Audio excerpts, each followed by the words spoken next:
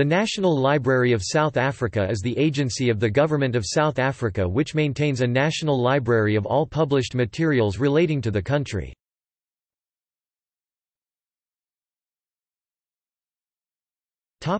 History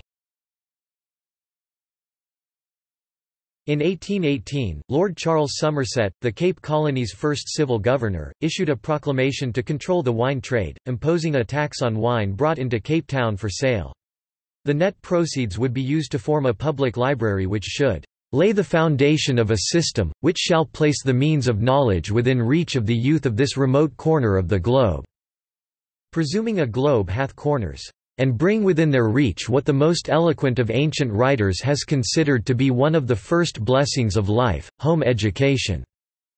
Since that time, South Africa's library development was bifurcated although the library in Cape Town was the original establishment, the most likely model for Cape Town's public library was the London Institution established in 1805 in the style of an Athenaeum. The library's first significant acquisition was the collection of Joachim Nicolaus von Dessen, who bequeathed his books to the Dutch Reformed Church in 1761 to serve as the foundation of a public library.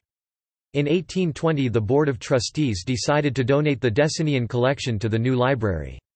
Other notable donations followed over the years, among others Sir George Grey who when he left South Africa in 1861 presented the library with his remarkable personal collection of medieval and Renaissance manuscripts and rare books. In 1873 the South African Public Library became a legal deposit library for the Cape Colony, and from 1916 it received all printed items published throughout the country. The library continued as a legal deposit library until 1954, when this function was taken over by the City of Cape Town. From then on it began to develop its unique character as a national reference library devoted to research based on its extensive stock, with a concurrent name change in 1967 to the South African Library. Diplomat Edmund Roberts visited the library, then called the South African Library around 1833 and described it as, "...once the pride and boast of the colony." He noted that the library had approximately 10,000 volumes and called it a highly creditable place.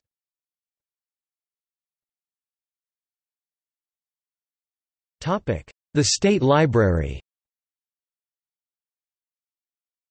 The Staatsbibliotheek der Zuid-Afrikaanse Republiek State Library of the South African Republic came into being thanks to a donation of books from the Maatschappij der Nederlandsche Letterkunde. These books consisted of a complete library of Dutch works, mainly Dutch literature and language, to the Transvaal Republic's government.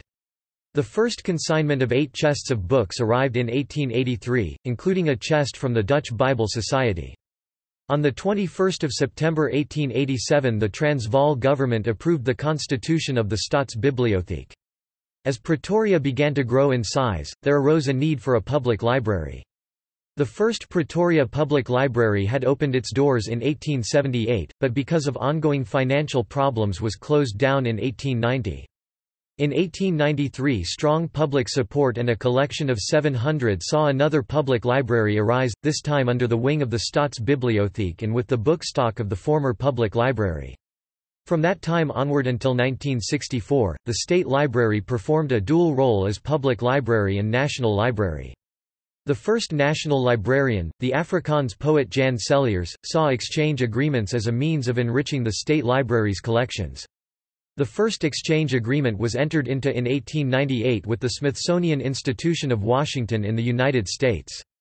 In terms of the agreement the State Library would receive all American official publications in exchange for two copies of each official publication of the South African Republic.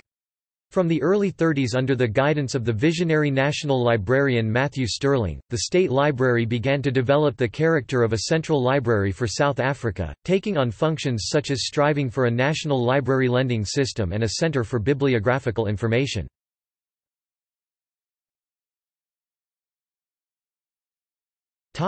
Modern consolidation Until 1 November 1999, for historical reasons, South Africa had two national libraries, the South African Library, founded in 1818, in Cape Town, and the State Library, founded in 1887, in Pretoria.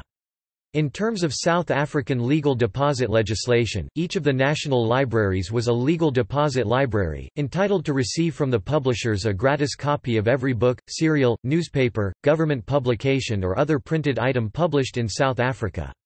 In South Africa legal deposit, in some form or another, dates back to 1842.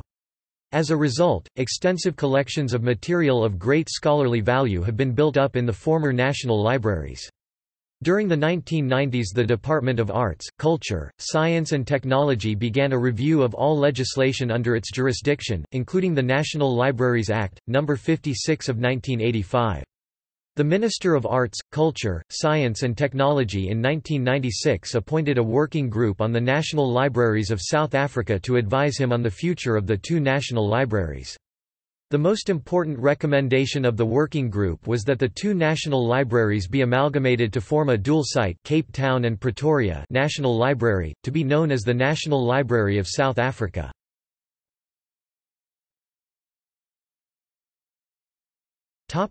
Creation under the National Library Act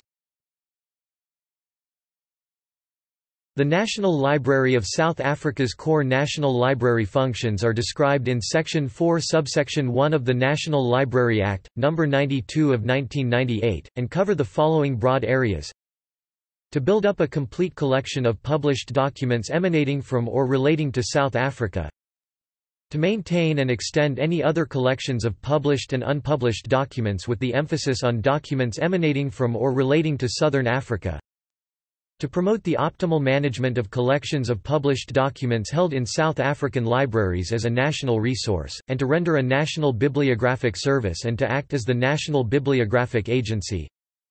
To promote optimal access to published documents, nationally and internationally. To provide reference and information services, nationally and internationally. To act as the National Preservation Library and to provide conservation services on a national basis to promote awareness and appreciation of the national published documentary heritage, and to promote information awareness and information literacy.